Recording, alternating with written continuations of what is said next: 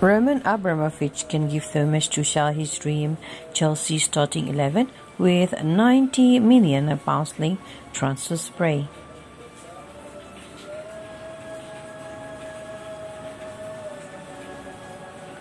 Chelsea are set for a very busy summer transfer window, both in terms of incomings and outgoings.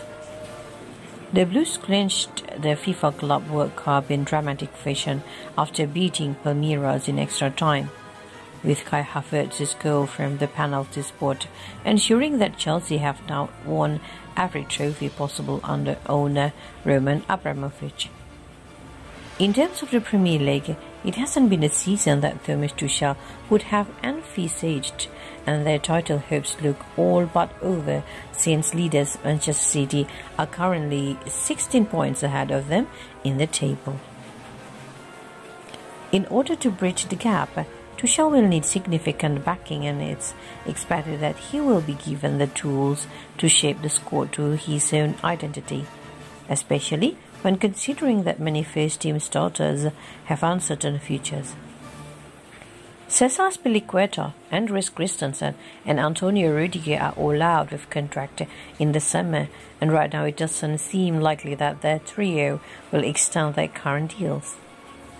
With that in mind, Chelsea look to start to strengthen their backline going into next season with Koundé likely to be pursued again, who has been a regular starter for Sevilla under manager Julen Lopetegui. The engine room is another opposition Chelsea will look towards and length surrounding Monaco midfielder star Aurelien Tchouameni will certainly intensify, the Blues reportedly optimistic that they can acquire the services of the young French international. Both Koundé and Tchouameni, valued at 54 million pounds and 36 million pounds respectively of transfer market, are long-term targets, and it remains to be seen whether Marina Granovskaia will be able to pull off the double transfer.